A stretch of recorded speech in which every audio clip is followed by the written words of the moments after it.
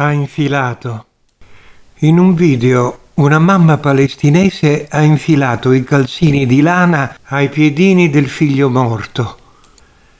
Mi sono alzato dalla sedia. Commento. È stata un'alta forma di preghiera.